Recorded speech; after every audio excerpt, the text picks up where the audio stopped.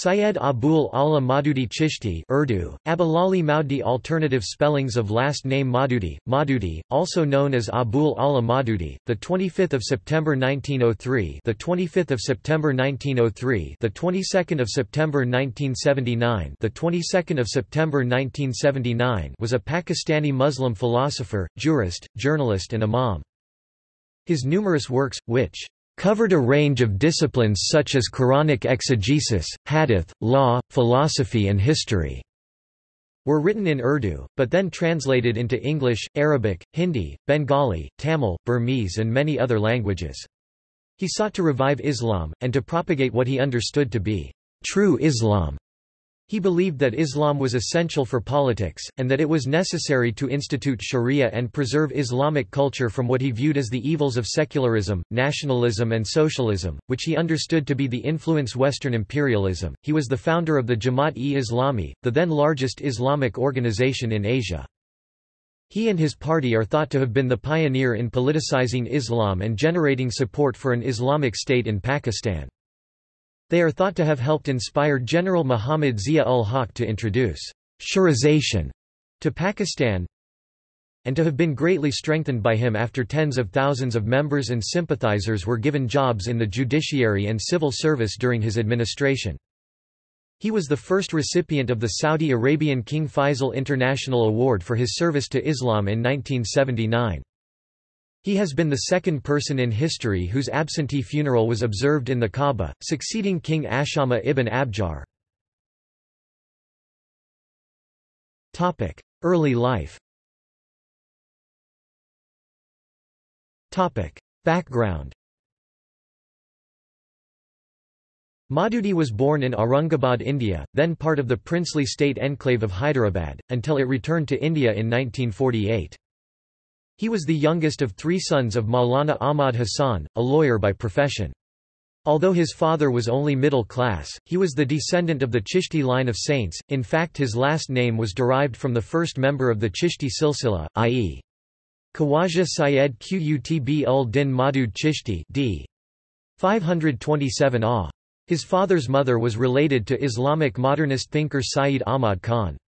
As he himself states, his paternal family originally moved from Chikht, in modern-day Afghanistan, during the days of Sikandar Lodi d. 1517, initially settling in the state of Haryana before moving to Delhi later on, and on his mother's side, his ancestor Mirza Tughlaq, a soldier of Turkish origin, moved into India from Transoxiana around the times of Emperor Aurangzeb d. 1707, while his maternal grandfather, Mirza Kurban Ali Beg Khan Salak (1816–1881), was a well-known well-known writer and poet in Delhi, a friend of the famous Urdu poet Ghalib. Childhood At an early age, until he was nine, Maududi was given home education, he received religious nurture at the hands of his father and from a variety of teachers employed by him. As his father wanted him to become a Maulvi, this education consisted of learning Arabic, Persian, Islamic law and hadith. He also studied books of mantiq logic. A precocious child, he translated Qasim Amin's al-Mara al-Jadida, the New Woman, a modernist and feminist work, from Arabic into Urdu at the age of 11.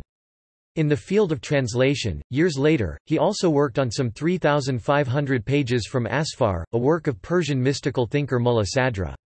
His thought would influence Maududi, as Sadra's notions of rejuvenation of the temporal order, and the necessity of the reign of Islamic law the Sharia for the spiritual ascension of man, found an echo in Maududi's works.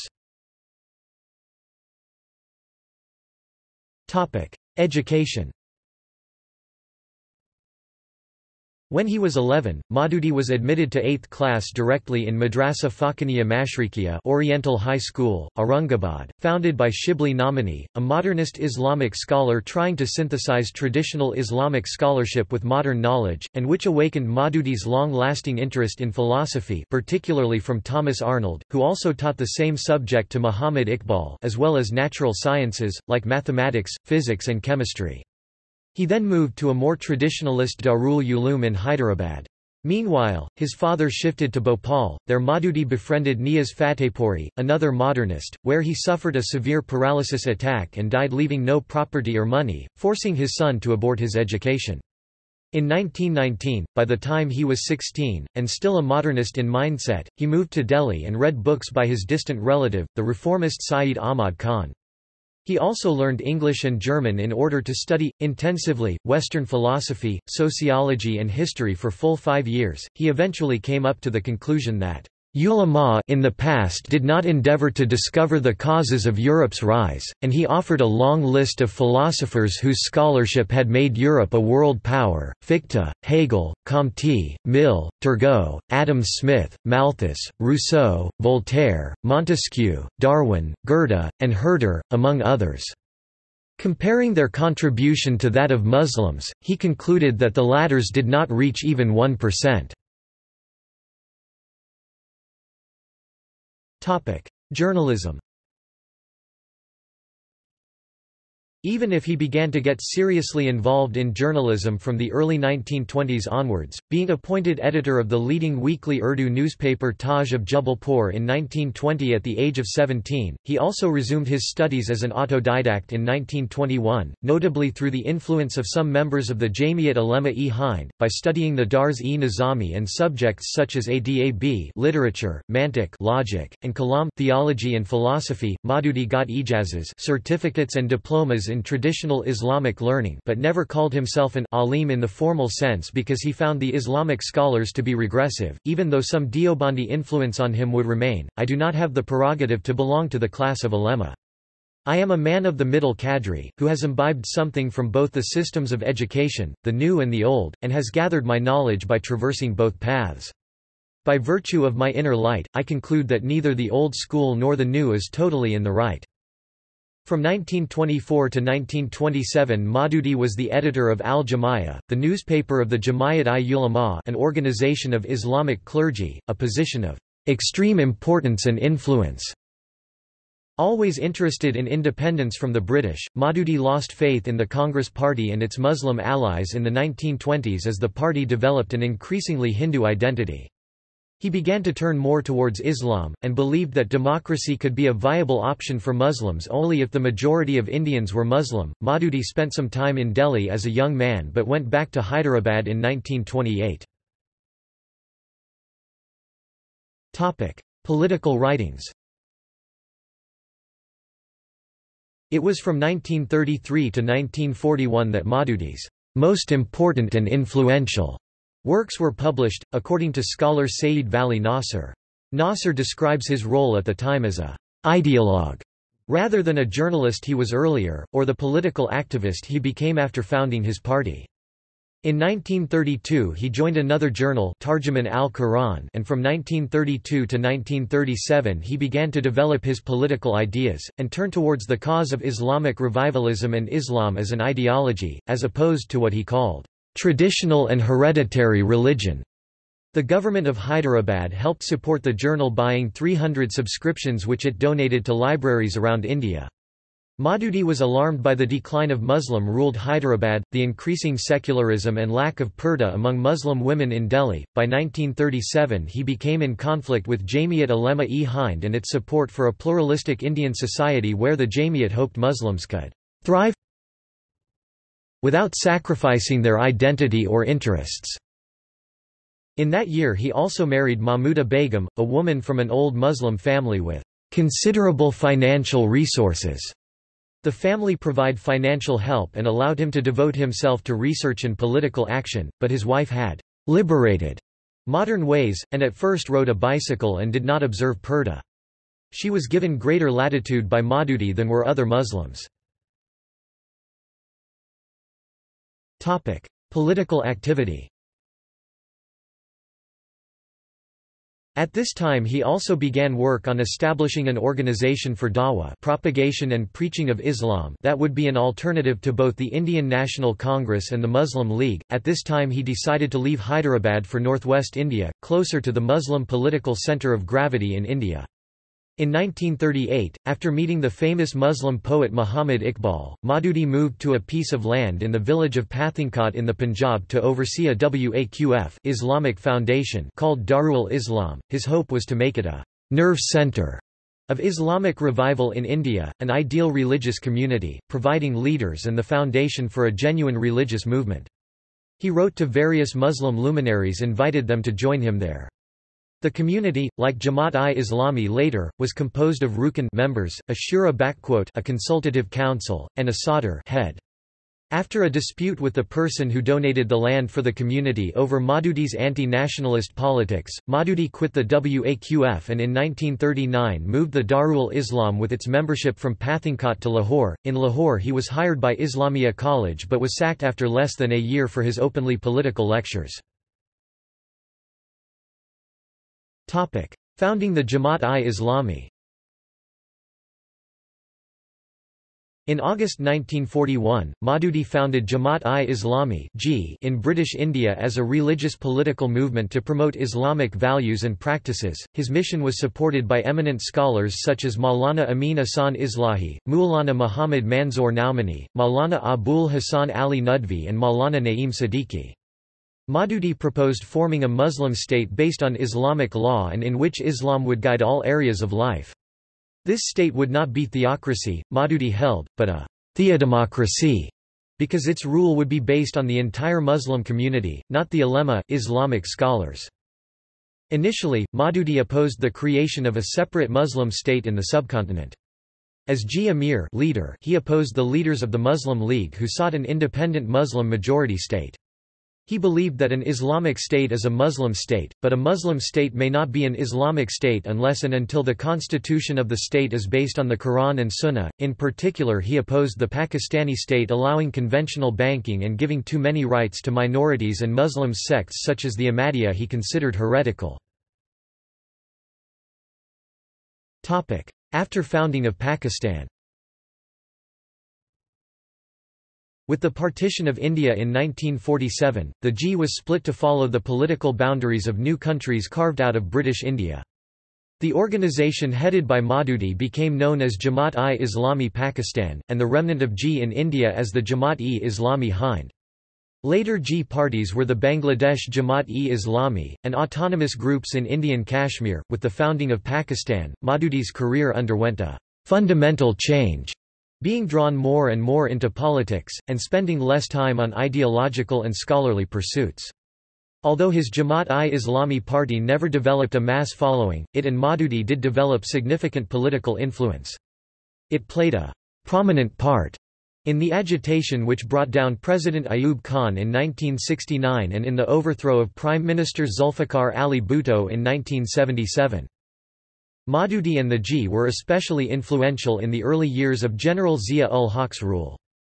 His political activity, particularly in support of the creation of an Islamic state clashed with the government, dominated for many years by a secular political class, and resulted in several arrests and periods of incarceration.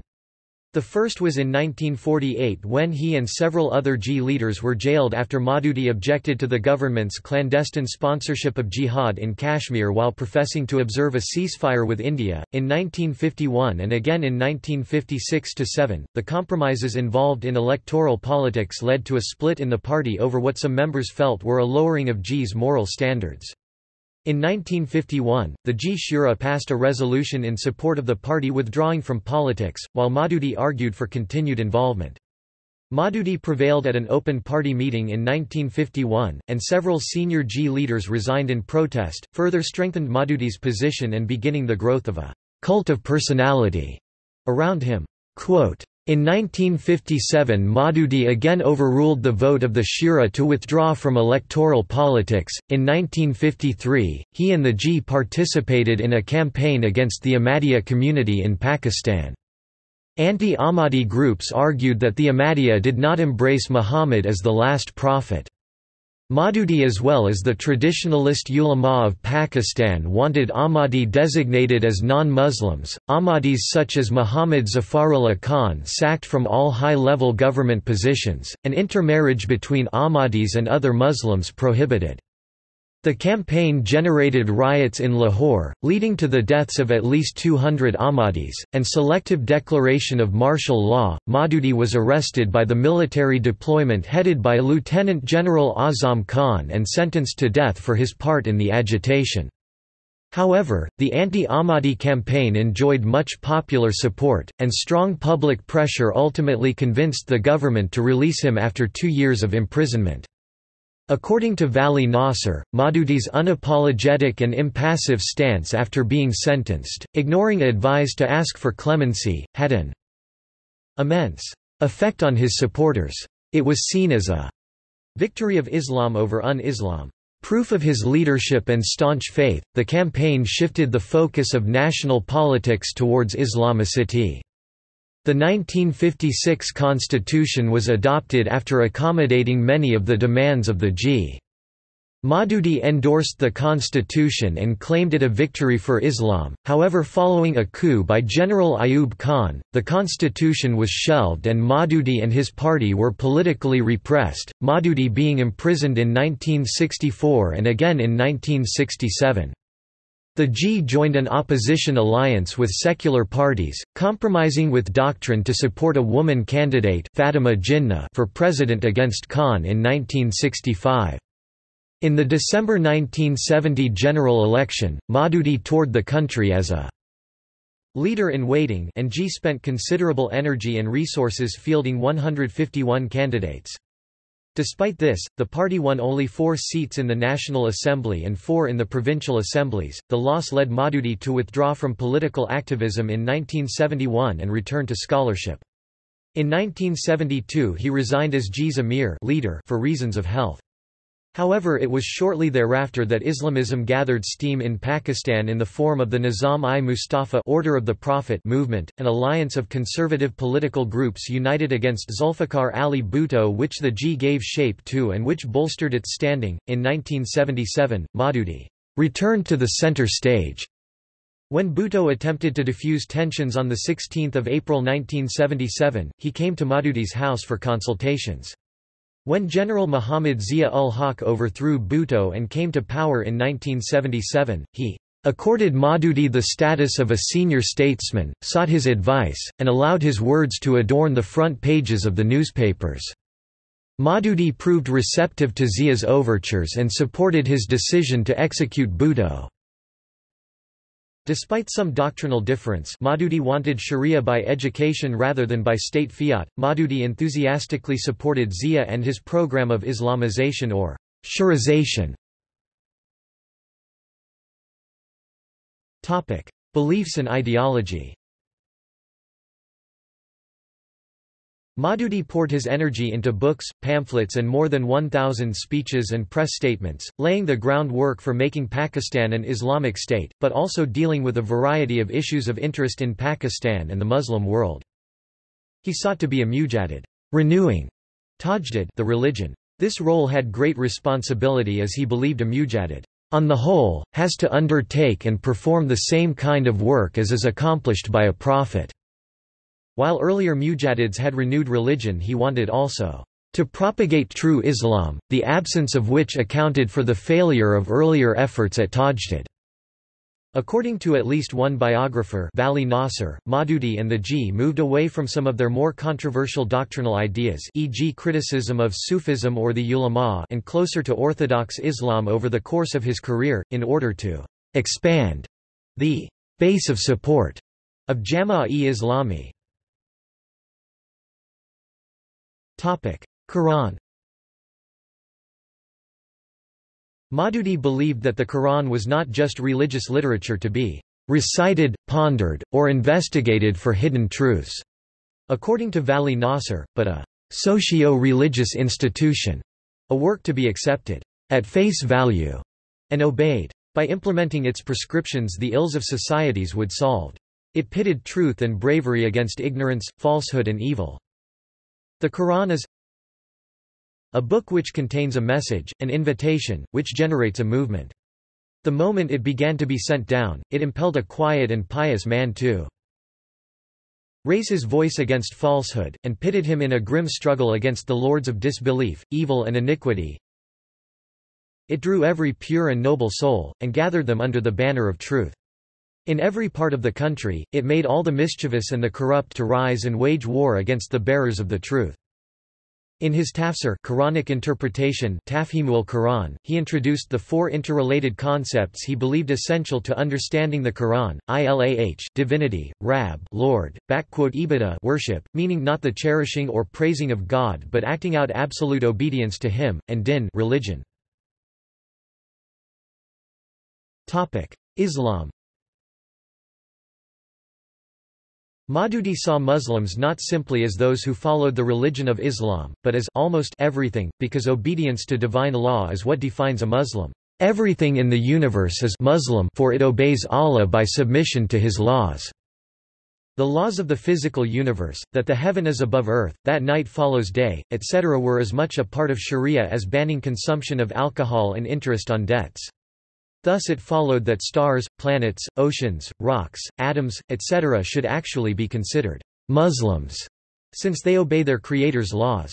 Rather than Muslims being a minority among humans, one religious group among many, it is non-Muslims who are a small minority among everything in the universe.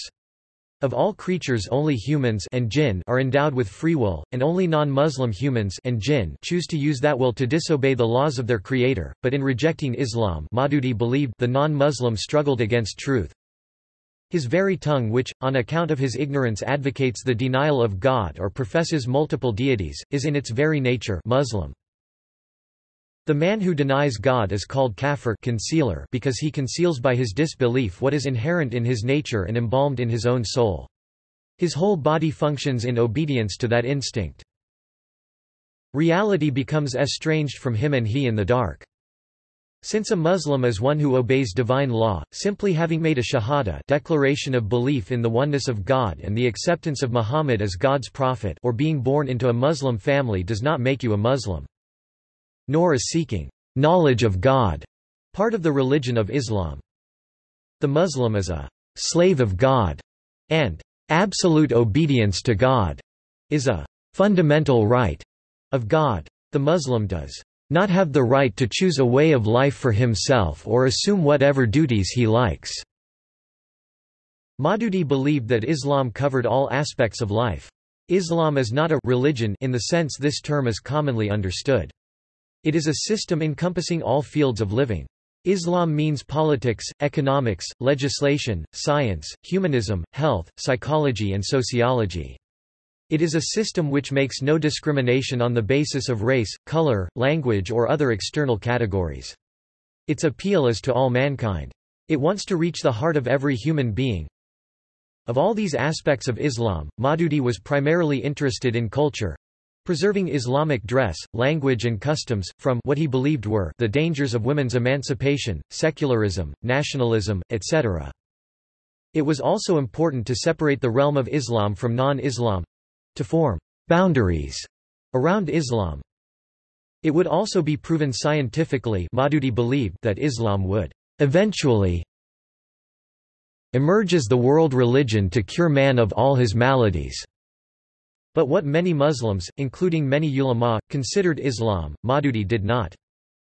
Maudud complained that, "...not more than 0.001% of Muslim knew what Islam actually was."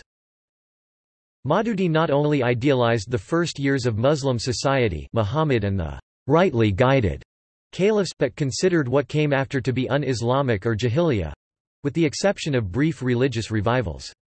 Muslim philosophy, literature, arts, mysticism were syncretic and impure, diverting attention from the divine. Hadith Maududi had a unique perspective on the transmission of hadith—the doings and sayings of the Islamic prophet Muhammad, that form part of the basis of Islamic law. Rather than basing judgment of the quality of a hadith on the number and reliability of the chain of transmission known as isnad, hadith were passed on orally before being written down and the judgments of generations of muhaddithin hadith scholars, Maududi believed in his intuition, and that with extensive study and practice one can develop a power and can intuitively sense the wishes and desires of the Holy Prophet. Thus, on seeing a hadith, I can tell whether the Holy Prophet could or could not have said it. Women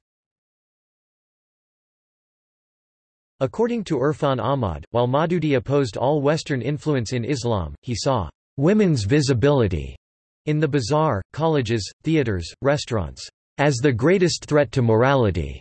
Art, literature, music, film, dance, use of makeup by women, all were shrieking signs of immorality.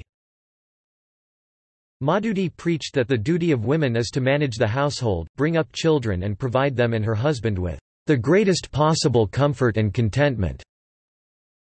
Maududi supported the complete veiling and segregation of women as practiced in most of Muslim India of his time. Women, he believed, should remain in their homes except when absolutely necessary. The only room for argument he saw in the matter of veiling, hijab was, whether the hands and the face of women were to be covered or left uncovered. On this question Maududi came down on the side of the complete covering of women's faces whenever they left their homes.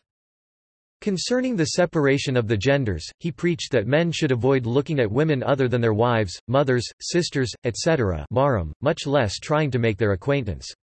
He opposed birth control and family planning as a rebellion against the laws of nature, and a reflection of loss of faith in God who is the planner of human population and unnecessary because population growth leads to economic development. Muhammad Najatullah Siddiqui writes, as to the argument that family planning enables better nourishment and education of children, Maududi refers to the beneficial effects of adversity and want on human character. Maududi opposed allowing women to be either a head of state or a legislator, since According to Islam, active politics and administration are not the field of activity of the womenfolk. They would be allowed to elect their own all-woman legislature which the men's legislature should consult on all matters concerning women's welfare. Their legislature would also have the full right to criticize matters relating to the general welfare of the country, though not to vote on them. Music Maududi saw music and dancing as social evils. In describing the wickedness that comes of ignoring Islamic law he included not only leaving the poor to starvation and destitution, while wallowing in luxury, liquor and drugs, but having a regular need for music, satisfied with musicians, dancing girls, drum beaters and manufacturers of musical instruments. Economics His 1941 lecture, The Economic Problem of Man and Its Islamic Solution, is generally considered to be one of the founding document of modern Islamic economics. Maududi has been called the leader of the vanguard of contemporary Islamic orthodoxy in riba and finance, and credited with laying down the foundations for development of Islamic economics. However, Maududi believed Islam does not concern itself with the modes of production and circulation of wealth, and was primarily interested in cultural issues rather than socio-economic ones. Maududi dismissed the need for a new science of economics, embodied in voluminous books, with high-sounding terminology and large organization, or other experts and specialists, which he believed to be one of the many calamities of modern age.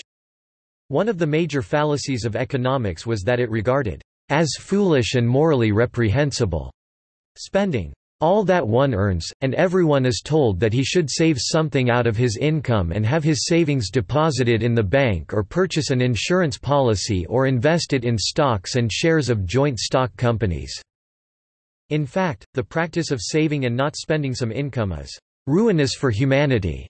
But since Islam was a complete system, it included a sharia-based economic program, comparable and of course superior to other economic systems. Capitalism was a satanic economic system, starting with the fact that it called for the postponement of some consumption in favor of investment. This led to overproduction and a downward spiral of lower wages, protectionism, trade wars and desperate attempts to export surplus production and capital through imperialist invasions of other countries, finally ending in the destruction of the whole society as every learned economist knows. On the other hand, socialism by putting control of the means and distribution of production in the hands of the government concentrates power to such an extent it inevitably leads to enslavement of the masses. Socialists sought to end economic exploitation and poverty by structural changes and putting an end to private ownership of production and property. But in fact poverty and exploitation is caused not by the profit motive but by the lack of virtue and public welfare among the wealthy, which in turn comes from a lack of adherence to sharia law. In an Islamic society, greed, selfishness and dishonesty would be replaced by virtue, eliminating the need for the state to make any significant intervention in the economy. According to Maududi, this system would strike a golden mean between the two extremes of laissez-faire capitalism and a regimented socialist, communist society, embodying all of the virtues and none of the vices of the two inferior systems. It would not be some kind of mixed economy, social democratic compromise, because by following Islamic law and banning alcohol, pork, adultery, music, dancing, interest on loans, gambling, speculation, fraud, and other similar things, it would be distinct and superior to all other systems, before the economy like the government, and other parts of society could be Islamized. An Islamic revolution through education would have to take place to develop this virtue and create support for total sharia law. This put Maududi at a political disadvantage with populist and socialist programs because his solution was neither immediate nor tangible. Banning interest Of all the elements of Islamic laws dealing with property and money payment of zakat and other Islamic taxes, etc., Maududi emphasized the elimination of interest on loans riba, according to one scholar, because in British India Hindus dominated the money-lending trade, Maududi opposed any and all interest on loans as unislamic riba. He taught that there is hardly a country of the world in which moneylenders and banks are not sucking the blood of poor laboring classes, farmers and low-income groups, a major portion of the earning of a working man is expropriated by the moneylenders, leaving the poor man with hardly enough money to feed himself and his family. While the Quran forbid many sins, it saved its severest terms of punishment. According to Maududi, for use of interest, he believed there was no such thing as a low, reasonable rate of interest, and that even the smallest and apparently harmless form of interest was intolerable in Islam as rates would inevitably increased over time when the capitalists moneylenders squeezed the entrepreneurs borrowers eliminating any entrepreneurial profit. To replace interest-based finance he proposed direct equity investment, profit and loss sharing, which he asserted would favor societally profitable ventures such as low-income housing that conventional finance ignores in favor of commercially profitable ones. To eliminate the charging of interest he proposed penal punishment with the death penalty for repeat offenders. Critics Faisal Khan complain that Maududi had no training as an economist and his description of interest-based finance resembles that of the dynamic between South Asian peasant and village moneylender rather than between modern conventional bank and borrower, and further that Maududi gives no explanation why direct equity finance would lead to any more investment in what is good for society but not commercially profitable than interest-based lending has. Socialism and populism Unlike Islamists like Ayatollah Ruhollah Khomeini, Maududi had a visceral antipathy to socialism, which he spent much time denouncing as godless, as well as being unnecessary and redundant in the face of the Islamic State. A staunch defender of the rights of property he warned workers and peasants that you must never take the exaggerated view of your rights which the protagonists of class war present before you." He also did not believe in intervention in the economy to provide universal employment. Islam does not make it binding on society to provide employment for each and every one of its citizens, since this responsibility cannot be accepted without thorough nationalization of the country's resources. Maududi held to this position despite his florid denunciations of how the rich were sucking the blood, and enslaving the poor. The popularity of populism among many Pakistanis, and despite the poverty and vast gap between rich and poor in Pakistan, which is often described an feudal jagirdari in its large landholdings and rural poverty. Maududi openly opposed land reform proposals for Punjab by Prime Minister Liaquat Ali Khan in the 1950s, going so far as to justify feudalism by pointing to Islam's protection of property rights. He later softened his views, extolling economic justice and equity but not egalitarianism, but cautioned the government against tampering with lawful jagirdari and continuing to emphasize the sanctity of private property. Islamic modernism Maududi believed that Islam supported modernization but not westernization. He agreed with Islamic modernists that Islam contained nothing contrary to reason, and that it was superior in rational terms to all other religious systems. He disagreed with their practice of examining the Quran and the Sunnah using reason as the standard, instead of starting from the proposition that, "...true reason is Islamic", and accepting the book and the Sunnah, rather than reason, as the final authority.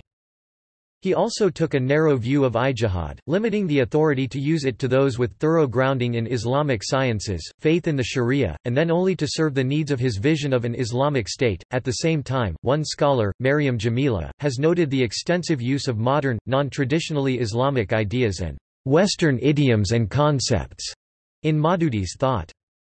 Islam was a revolutionary ideology and a dynamic movement the Jama'a-e Islami, was a party, the Sharia a complete code in Islam's total scheme of life.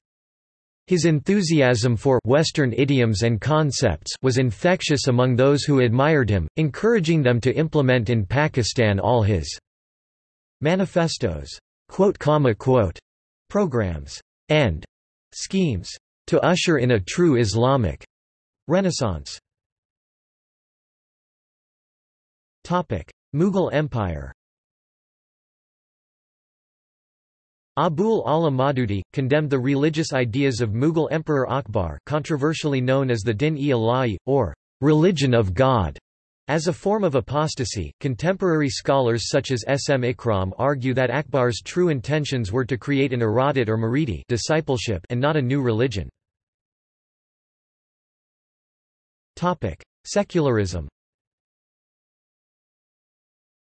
Maududi did not see secularism as a way for the state, government to dampen tensions and divisions in multi-religious societies by remaining religiously neutral and avoid choosing sides. Rather, he believed, it removed religion from society he translated secularism into Urdu as ladin, literally, religionless. Since he believed all morality came from religion, this would necessarily mean the exclusion of all morality, ethics, or human decency from the controlling mechanisms of society. It was to avoid the restraints of morality and divine guidance, and not out of pragmatism or some higher motive, that some espoused secularism. Science Maududi believed, "...modern science was a body that could accommodate any spirit, philosophy or value system, just as radio could broadcast Islamic or Western messages with equal facility." Nationalism Maududi strongly opposed the concept of nationalism, believing it to be shirk polytheism, and a Western concept which divided the Muslim world and thus prolonged the supremacy of Western imperialist powers. After Pakistan was formed, Maududi and the Ji forbade Pakistanis to take an oath of allegiance to the state until it became Islamic, arguing that a Muslim could in clear conscience render allegiance only to God. Ulama. Maududi also criticized traditionalist clergy or ulama for their moribund scholastic style, servile political attitudes, and ignorance of the modern world. He believed traditional scholars were unable to distinguish the fundamentals of Islam from the details of its application, built up in elaborate structures of medieval legal schools of fiqh Islamic jurisprudence. To rid Islam of these obscure laws Muslims should return to the Quran and Sunnah, ignoring judgments made after the reign of the first four rightfully guided caliphs al of Islam. Maududi also believed there would be little need for the traditional role of ulama as leaders, judges, and guardians of the community in a reformed and rationalized Islamic order. Where those trained in modern as well as traditional subjects would practice ijtihad and where Muslims were educated properly in Arabic, the Quran, Hadith, etc. However, over time Maududi became more orthodox in his attitudes, including toward the ulama, and at times allied himself and his party with them after the formation of Pakistan. Sufism and popular Islam Like other contemporary revivalists, Maududi was critical of Sufism and its historical influence in the early days.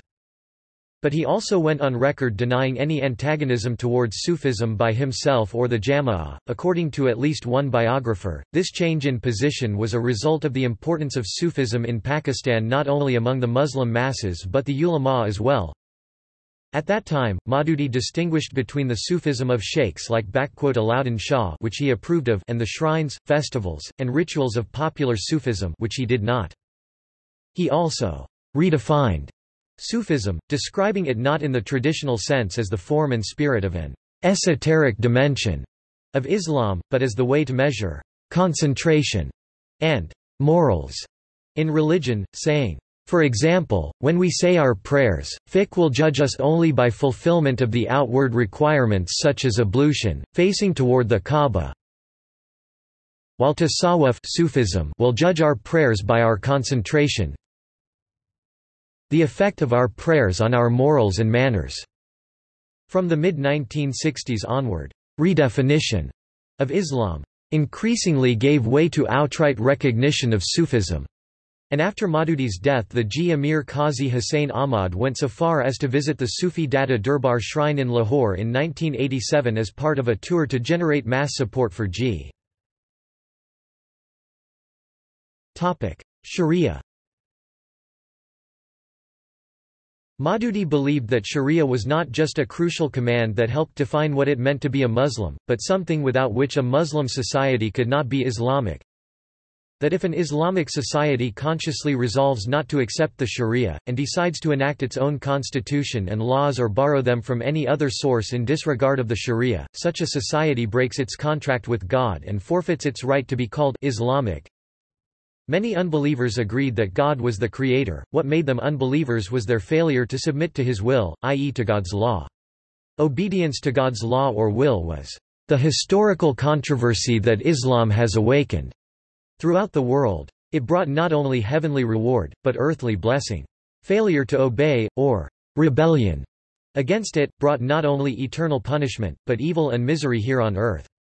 The source of sharia, was to be found not only in the Quran but also in the Sunnah the doings and sayings of the Islamic prophet Muhammad, since the Quran proclaimed, "...whoever obeys the messenger i.e. Muhammad obeys Allah." Quran 4-80 Sharia was perhaps most famous for calling for the abolition of interest-bearing banks, hadd penalties such as flogging and amputation for alcohol consumption, theft, fornication, adultery and other crimes. Hadd penalties have been criticized by westernized Muslims as cruel and in violation of international human rights but Maududi argued that any cruelty was far outweighed by the cruelty in the West that resulted from the absence of these punishments, and in any case would not be applied until Muslims fully understood the teachings of their faith and lived in an Islamic state, but in fact sharia was much more than these laws. It recognizes no division between religion and other aspects of life, in Maududi's view, and there was no area of human activity or concern which the sharia did not address with specific divine guidance. Family relationships, social and economic affairs, administration, rights and duties of citizens, judicial system, laws of war and peace and international relations. In short it embraces all the various departments of life. The Sharia is a complete scheme of life and an all-embracing social order where nothing is superfluous and nothing lacking. A very large part of Sharia required the coercive power and authority of the state for its enforcement. Consequently, while a state based on Islam has a legislature which the ruler must consult, its function is really that of law-finding, not of law-making. At the same time, Maududi states, somewhat astonishingly, According to one scholar, there is yet another vast range of human affairs about which sharia is totally silent, and which an Islamic state may write independent legislation. According to scholar Vali Nasr, Maududi believed that the sharia needed to be streamlined, reinterpreted, and expanded to address questions of governance to the extent required for a state to function. For example, sharia needed to make clear the relation between the various branches of government. Islamic Revolution Though the phrase, "'Islamic Revolution' is commonly associated with the 1979 Iranian Revolution, or General Zia's Islamization, Maududi coined and popularized it in the 1940s. The process Maududi envisioned changing the hearts and minds of individuals from the top of society downward through an educational process or dawah was very different than what happened in Iran, or under Zia-ul-Haq. Maududi talked of Islam being a revolutionary ideology and a revolutionary practice which aims at destroying the social order of the world totally and rebuilding it from scratch." But opposed sudden change, violent or unconstitutional action, and was uninterested in grassroots organizing or socio-economic changes. His «revolution» would be achieved «step by step» with «patience», since «the more sudden a change, the more short-lived it is». He warned against the emotionalism of demonstrations or agitations, flag waving, slogans, impassioned speeches, or the like. He believed that Societies are built, structured, and controlled from the top down by conscious manipulation of those in power, not by grassroots movements. The revolution would be carried out by training a cadre of pious and dedicated men who would lead and then protect the Islamic revolutionary process.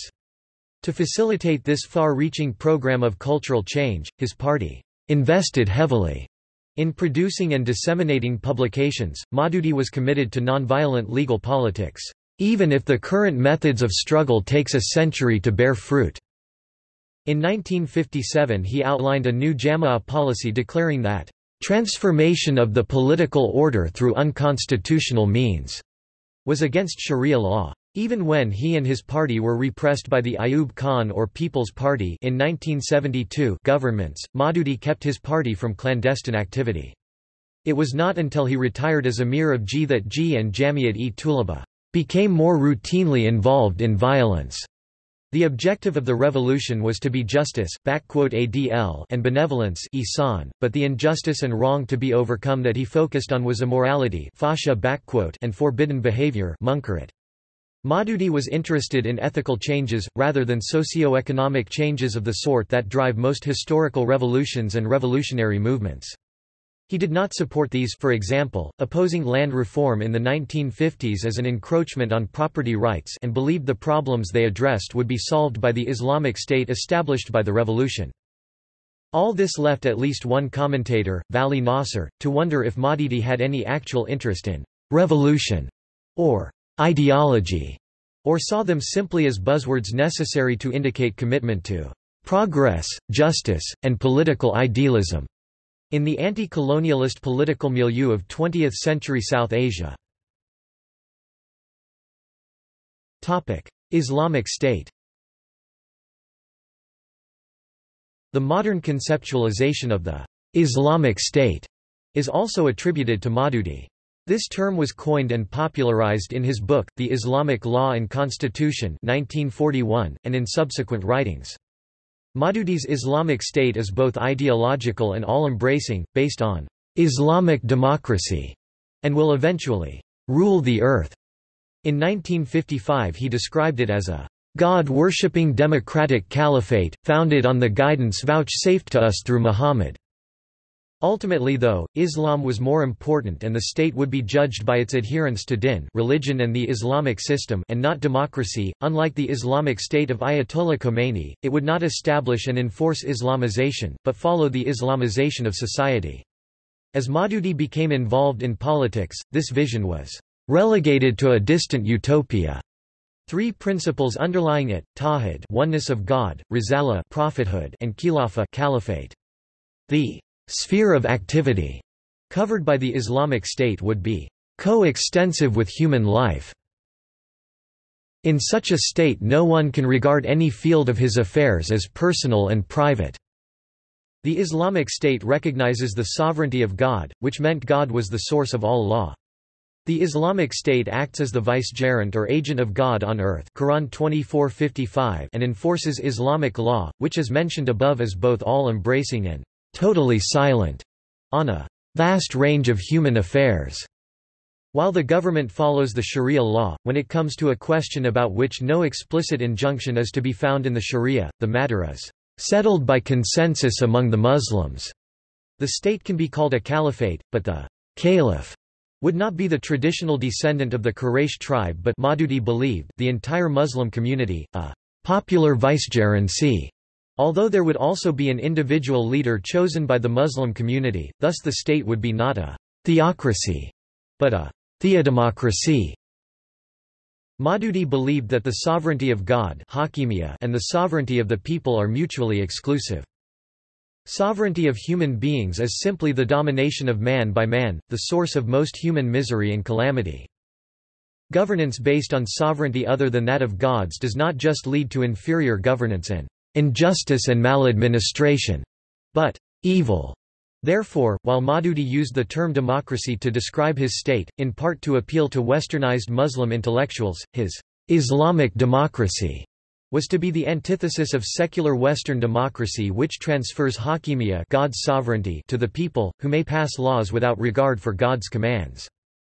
The Islamic State would conduct its affairs by mutual consultation among all Muslims. The means of consultation should suit the conditions of the particular time and place but must be free and impartial. While the government follows the Sharia law, when it comes to a question about which no explicit injunction is to be found in the Sharia, the matter is settled by consensus among the Muslims. Maududi favored giving the state exclusive right to the power of declaring jihad and ijtihad establishing an Islamic law through independent reasoning, traditionally the domain of the ulama. Rights while no aspect of life was to be considered personal and private and the danger of foreign influence and conspiracies was ever present. Nationalism, for example, was a Western concept which divided the Muslim world and thus prolonged the supremacy of Western imperialist powers. There would also be personal freedom and no suspicion of government. Maududi's time spent in jail as a political prisoner led him to have a personal interest in individual rights, due process of law, and freedom of political expression. Maududi stated, this espionage on the life of the individual cannot be justified on moral grounds by the government saying that it is necessary to know the secrets of the dangerous persons. This is exactly what Islam has called as the root cause of mischief in politics. The injunction of the Prophet is, "...when the ruler begins to search for the causes of dissatisfaction amongst his people, he spoils them." Abu Dawud However, the basic human right in Islamic law was to demand an Islamic order and to live in it. Not included were any rights to differ with its rulers and defy its authority. Islamic constitution According to Maududi, Islam had an unwritten constitution that needed to be transformed into a written one. The constitution would not be the Sharia or the Quran, as Saudi Arabia's constitution is alleged to be, but a religious document based on conventions of the rightly guided caliphs and the canonized verdicts of recognized jurists, i.e. the Sharia as well as the Quran and Hadith. Model of government and expanding on what the government of an Islamic state should look like in his book The Islamic Law and Constitution, Maududi took as his model the government of Muhammad and the first four caliphs al-Khulaf ur Rashidun. The head of state should be the supreme head of legislature, executive and judiciary alike, but under him these three organs should function separately and independently of one another. This head of state should be elected and must enjoy the country's confidence, but he is not limited to terms in office. No one is allowed to nominate him for the office, nor to engage in electioneering or run for office, according to another source. Because more than one correct position could not exist. Pluralism i.e. competition between political views, parties, would not be allowed, and there would be only one party. On the other hand, Maududi believed the state had no need to govern in the Western sense of the term, since the government and citizenry would abide by the same infallible and inviolable divine law. Power would not corrupt and no one would feel oppressed. Power and resources would be distributed fairly. There would be no grievances, no mass mobilizations, demands for political participation, or any other of the turmoil of non-Islamic governance.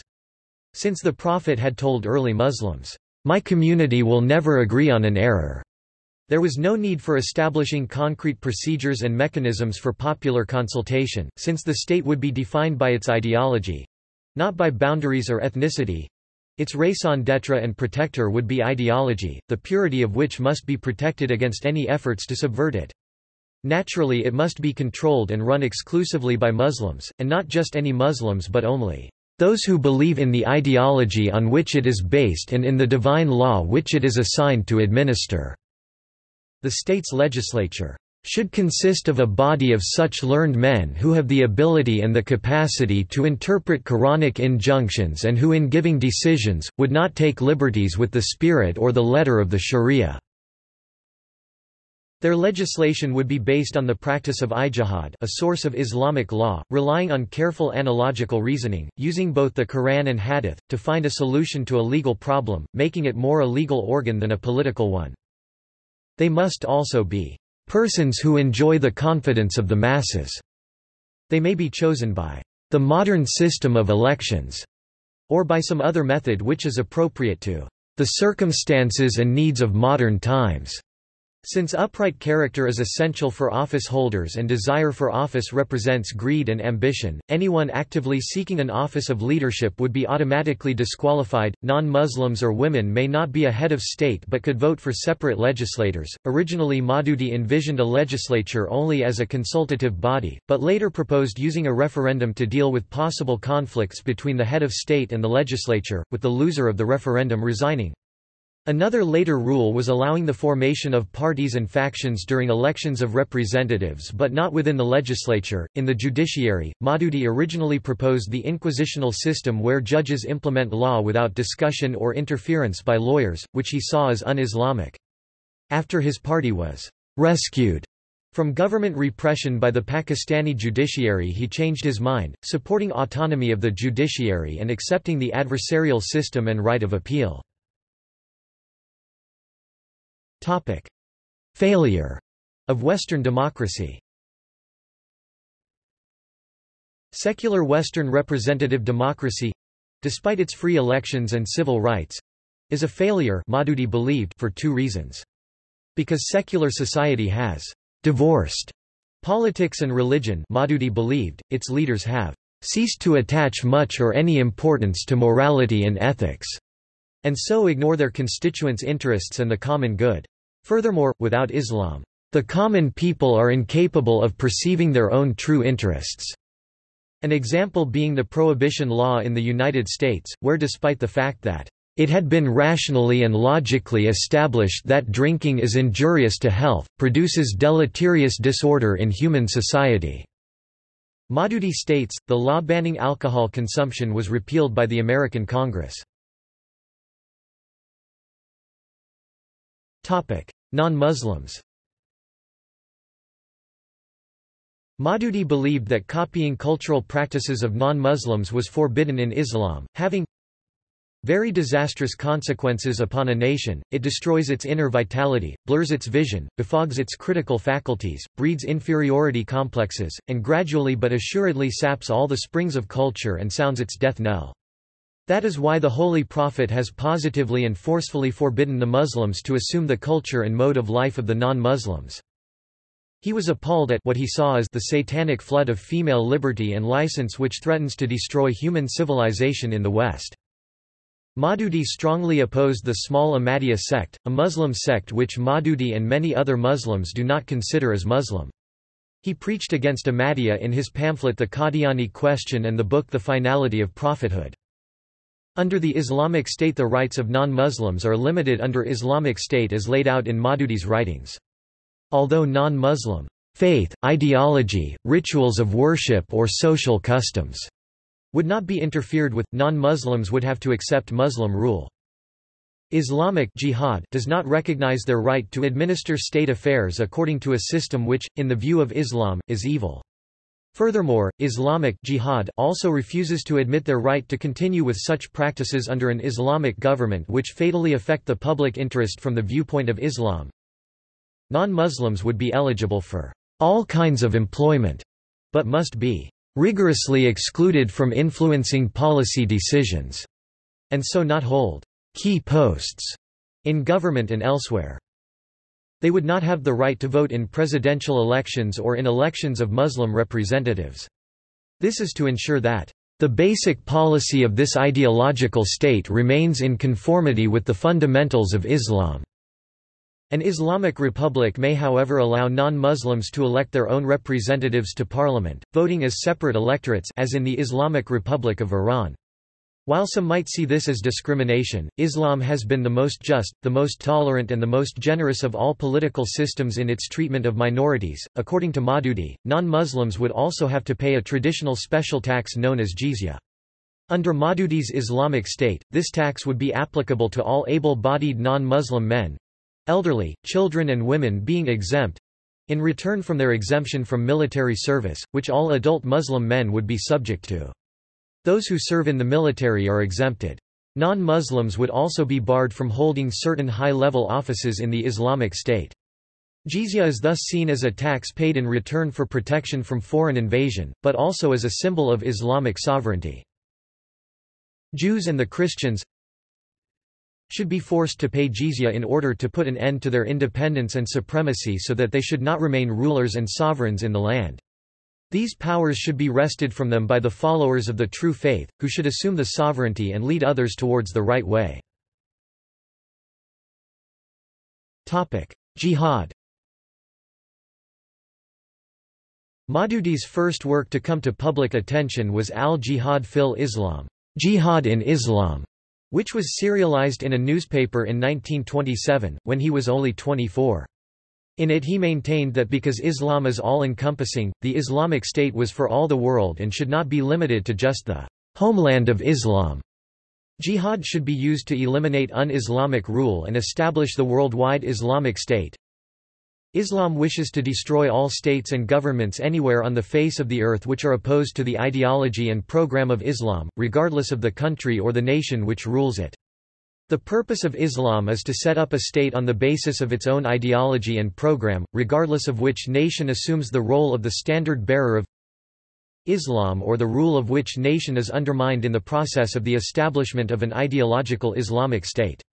Islam requires the earth—not just a portion, but the whole planet, because the entire mankind should benefit from the ideology and welfare program of Islam. Towards this end, Islam wishes to press into service all forces which can bring about a revolution and a composite term for the use of all these forces is jihad. The objective of the Islamic jihad is to eliminate the rule of an un-Islamic system and establish in its stead an Islamic system of state rule. Maududi taught that the destruction of the lives and property of others was lamentable part of the great sacrifice of jihad, but that Muslims must follow the Islamic principle that it is better to suffer a lesser loss to save ourselves from a greater loss. Though in jihad, thousands of lives may be lost, this cannot compare to the calamity that may befall mankind as a result of the victory of evil over good and of aggressive atheism over the religion of God."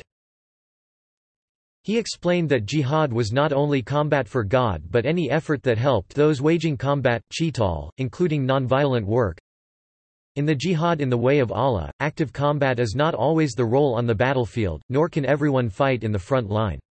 Just for one single battle preparations have often to be made for decades on end and the plans deeply laid, and while only some thousands fight in the front line there are behind them millions engaged in various tasks which, though small themselves, contribute directly to the supreme effort. At the same time he took a more conservative line on jihad than other revivalist thinkers such as Ayatollah Khomeini and Sayyid Qutb. In general, he argued that jihad should not denote a crazed faith, bloodshot eyes, shouting Allahu Akbar, decapitating an unbeliever wherever they see one, cutting off heads while invoking La ilaha illa llah there is no God but God. During a ceasefire with India in 1948, he opposed the waging of jihad in Kashmir, stating that jihad could be proclaimed only by Muslim governments, not by religious leaders. Mystique, personality, personal life As Jama'a Amir, he remained in close contact with G members, conducting informal discussions every day in his house between Asar and Maghrib Salat prayers, although according to some, in later years discussion was replaced by answers to members' questions with any rebuttals ignored. For his votaries in Jama'a, Maududi was not only a revered scholar, politician, and thinker, but a hallowed mujaddid. Adding to his mystic was his survival of assassination attempts, while the Jamaat's enemies Liaquat Ali Khan, Ghulam Muhammad, Hussein Shahid Suhrawardy, Ayub Khan, Zulfikar Ali Bhutto fell from grace or were killed, he had a powerful command of Urdu language which he insisted on using, in order to free Muslims' minds from the influence of English. In private he has been described as strict but not rigid, taciturn, poised, composed, uncompromising and unyielding. His biographers have talked of his karamat special gifts and heba great presence. His public speaking style has been described as having great authority. Maududi would make his argument step by step with Islamic edicts, rather than attempting to excite his audience with oratory. Although he did not publicize the fact, Maududi was a practitioner of traditional medicine or Unani tib. Family and health Maududi has been described as close to his wife, but not able to spend much time with his six sons and three daughters due to his commitments to religious dawah and political action. Only one of his offspring, ever joined the G. And only his second daughter Asma, showed any scholarly promise. Maududi suffered from a kidney ailment most of his life. He was often bedridden in 1945 and 1946, and in 1969 was forced to travel to England for treatment. Late life In April 1979, Maududi's longtime kidney ailment worsened and by then he also had heart problems. He went to the United States for treatment and was hospitalized in Buffalo, New York, where his second son worked as a physician. Following a few surgical operations, he died on the 22nd of September 1979 at the age of 75. His funeral was held in Buffalo, but he was buried in an unmarked grave at his residence in Itra, Lahore after a very large funeral procession through the city. Legacy In Pakistan, where the G claims to be the oldest religious party it is hard to exaggerate the importance of that country's current drift toward Maududi's version of Islam According to scholar Iran Lehrman, his background as a journalist, thinker, scholar and political leader has been compared to Indian independence leader Abul Kalam Azad by admiring biographers. He and his party are thought to have been the most important factors in Pakistan working to generate support for an Islamic state. They are thought to have helped inspire General Zia-ul-Haq to introduce Sharization to Pakistan, Sharia laws decreed by Zia included bans on interest on loans riba, deduction by the government of 2.5% annual zakat tax from bank accounts, introduction of Islamic punishments such as stoning and amputation with the 1979 Hudud ordinances. One policy of Zia's that was originally proposed by Maududi, and not found in classic Islamic jurisprudence fiqh, was the introduction of separate electorates for non-Muslims Hindus and Christians in 1985, in return Maududi's party was greatly strengthened by Zia with ten thousands of members and sympathizers given jobs in the judiciary and civil service early in Zia's rule. Outside of South Asia, Muslim Brotherhood founder Hassan al-Banna and jihadist Sayyid Qutb read him, according to historian Philip Jenkins. Qutb borrowed and expanded Maududi's concept of Islam being modern, Muslims having fallen into pre-Islamic ignorance and of the need for an Islamist revolutionary vanguard movement. His ideas influenced Abdullah Azzam, the Palestinian Islamist jurist and renewer of jihad in Afghanistan and elsewhere. The South Asian diaspora, including significant numbers in Britain, were hugely influenced by Maududi's work. Maududi even had a major impact on Shia Iran, where Ayatollah Ruhollah Khomeini is reputed to have met Maududi as early as 1963 and later translated his works into Persian. To the present day, Iran's revolutionary rhetoric often draws on his themes. According to Yusuf M. Choueiri, all the major contemporary radicalist Islamist movements the Tunisian Islamic Tendency, the Egyptian Islamic Jihad Organization, and the Muslim Brotherhood of Syria derive their ideological and political programs. From the writings of Maududi and Sayyid Qutb. Topic: Timeline of Abul Ala Maududi's life. 1903 Born in Aurangabad, Hyderabad State, British Raj. 1918 Started career as journalist in Binur newspaper 1920 Appointed as editor of the Daily Taj, based in Jabalpur. 1921 Learned Arabic from Maulana Abdul Salam Niazi in Delhi. 1921 Appointed as editor Daily Muslim newspaper. 1926 Took the Sanad of Ulum-e Akalia wa Nakalia from Darul Ulum Fatehpuri, Delhi. 1928 Took the Sanad in Jamay al-Tirmidhi and Muwatta Imam Malik form same teacher 1925 Appointed as editor al-Jamia, Delhi. 1927 Wrote al-Jihad fil Islam. 1930 Wrote and published the famous booklet al-Jihad fil Islam. 1933 Started Tarjuman ul-Quran from Hyderabad. 1937 aged 34, introduced to South Asia's premier Muslim poet-philosopher, Allama Muhammad Iqbal, by Chaudhry Niaz Ali Khan at Lahore 1938 aged 35, moved to Pathankot from Hyderabad Deccan and joined the Dar-ul-Islam Trust Institute, which was established in 1936 by Chaudhry Niaz Ali Khan on the advice of Allama Muhammad Iqbal for which Chaudhry Niaz Ali Khan donated 66 acres 270,000 square meters of land from his vast 1,000-acre (4.0 square kilometers estate in Jamalpur, 5 kilometers west of Pathankot, 1941 founded Jamaat-e-Islami Hind at Lahore, appointed as Emir 1942 Jamaat's headquarters moved to Pathankot 1942 started writing a commentary of the Quran called Tafhim ul-Quran. 1947 Jamaat-e-Islami Pakistan headquarters moved to Lahore, Pakistan. 1948 Campaign for Islamic Constitution and Government 1948 thrown in jail by the Pakistani government for fatwa on jihad in Kashmir. 1949 Pakistani government accepted Jamaat's resolution for Islamic constitution. 1950 released from jail. 1953 sentenced to death for his historical part in the agitation against Ahmadiyya to write a booklet Qadiani Problem. He was sentenced to death by a military court, but it was never carried out. 1953 death sentence commuted to life imprisonment and later cancelled. 1958 Jamaat-e-Islami banned by martial law administrator Field Marshal Ayub Khan. 1964 sentenced to jail. 1964 released from jail. 1971 in the question of united Pakistan or separation of the East Pakistan later Bangladesh he relinquished his authority to East Pakistan Shura consultative body of Jamaat 1972 completed Tafhim ul Quran 1972 resigned as Emir-e-Jamaat 1978 published his last book, Sirat-e Sarwar-e Alam, in two volumes. 1979 won King Faisal International Prize.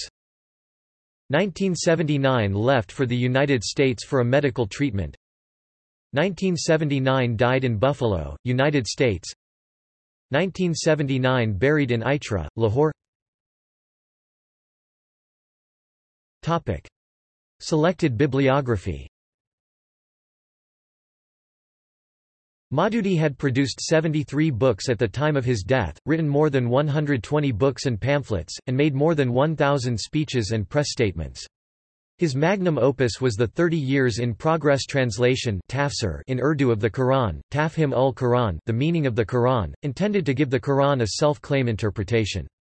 It became widely read throughout the South Asia and has been translated into several languages, some of his books translated into English.